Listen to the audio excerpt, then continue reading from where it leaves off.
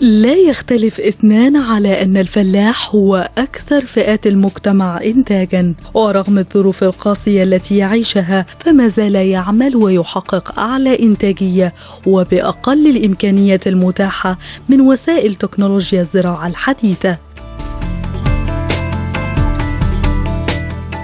الفلاح المصري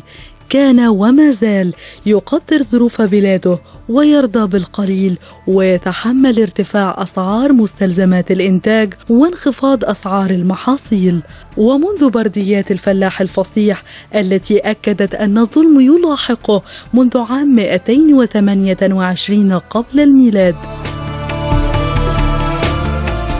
وقدر الحكومة الحالية أنها ورثت تلك كلها مشاكل ومنها عدم وجود سياسة زراعية واضحة للبلاد كما ورثت أيضا فلاحا يتيما يعاني من الفقر والجهل والمرض ومطلوب منها أن تتصدى لهذه المشاكل وتضع حلولا لها.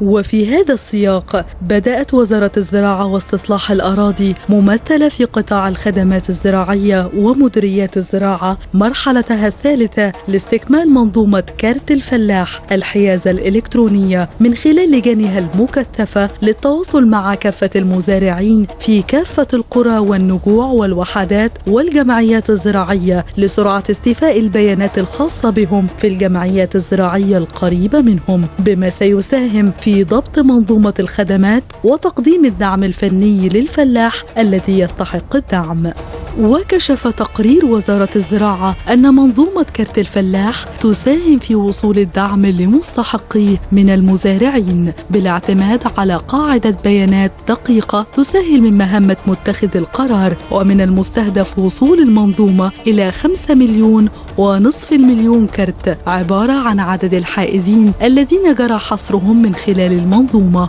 وتواصل لجان الحصر عملها من خلال التواصل مع المزارعين لسرعة تسجيل بياناتهم في المنظومة الجديدة والتي يجرى حاليا النظر في تقديم خدمات أوسع وأشمل لهم من خلال الكرت الذكي بالتنسيق مع كافة الجهات المعنية بالدولة وذلك دعما للفلاح الذي يعد هو العمود الفقري للإنتاج والاقتصاد القومي في مصر.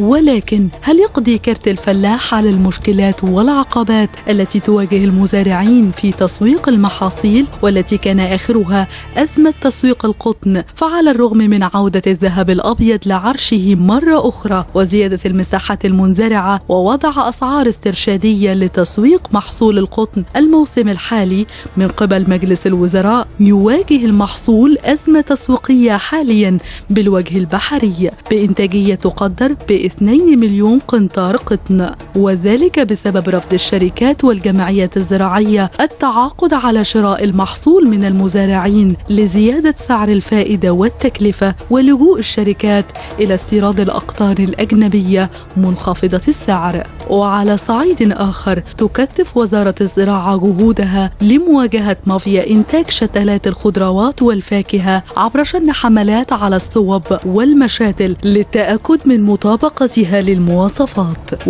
وحصولها على التراخيص المعتمدة من قبل وزارة الزراعة تحد كبير يواجه ملف الزراعة في مصر فهل تنجح محاولات وجهود الحكومة في القضاء على تلك التحديات؟ نشوى عبد العاطي مساء دريم